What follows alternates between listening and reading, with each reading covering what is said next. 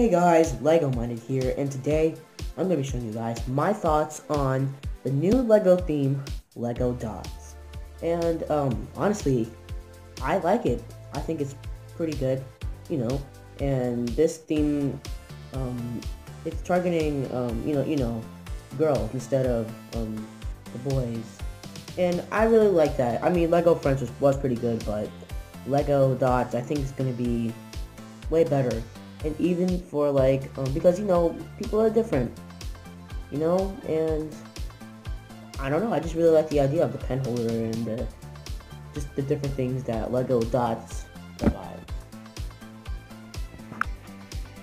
In Lego Dots they will be giving us um, about five dollar um, bags and they will be bracelets and these bracelets actually remind me of the brick bands that I got from Florida, the um, weapon sets, and um, did Lego copy? Um, I don't think so. Um, but I was actually waiting for a Lego wristband, like an actual Lego wrist wristband for a very long time. So I'm very happy that they're actually doing that. But yeah, um, this is pretty. Yeah, these are um really cool.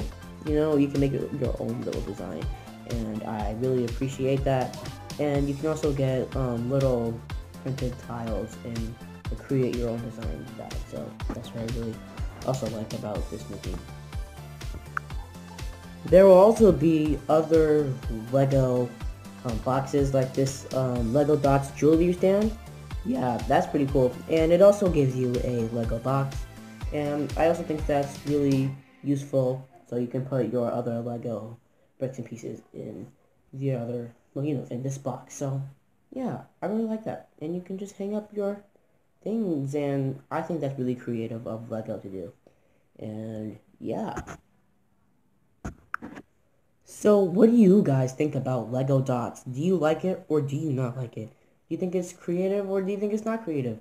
And do you think that the Lego wristband is a good idea or do you think it's not a good idea? Let me know down in the comments below.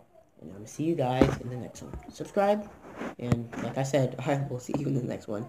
I really have to work on the outro.